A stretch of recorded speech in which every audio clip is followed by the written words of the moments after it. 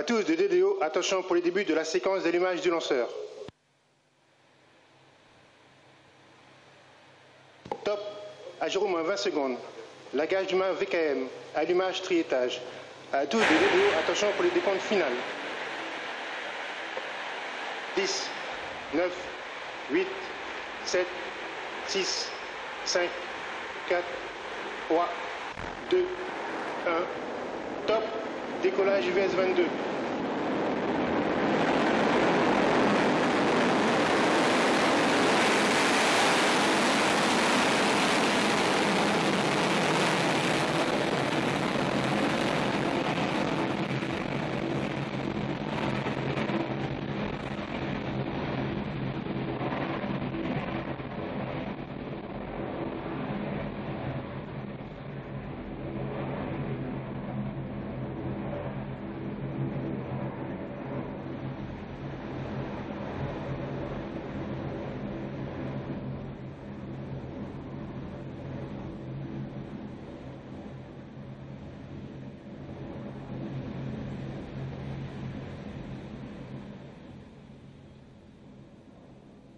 La propulsion est nominale.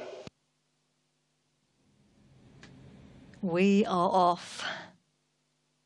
The, the, next four satellites in the O3b constellation have started their journey. Our cameras following the launcher there as she lifted off from the pad here in the Amazon rainforest. He's telling us that everything is going according to plan.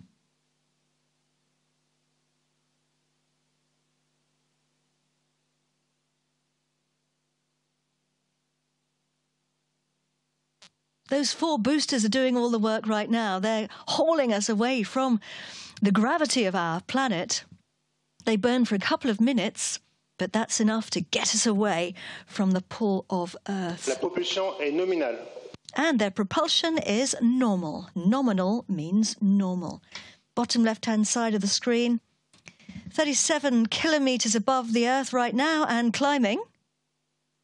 This is the scheduled moment for the boosters to be jettisoned.